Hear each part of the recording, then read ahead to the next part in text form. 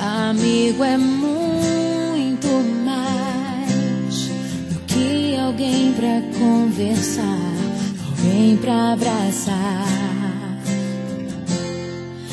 Amigo é uma bênção que vem do coração de Deus pra gente cuidar. É assim que você é pra mim, como uma pérola